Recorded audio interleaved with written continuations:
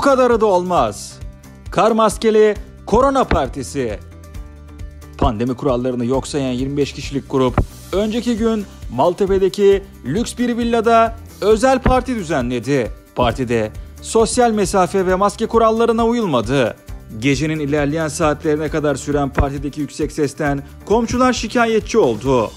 Polis sabaha karşı villaya gelerek partide bulunan 25 kişiye 3150 TL ceza kesti. Baskın sonrası villayı terk edenlerin kostümlü halleri objektife yansıdı.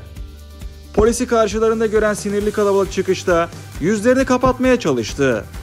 Olaya şahit olanlar bu kadarı da olmaz yorumları yaptı.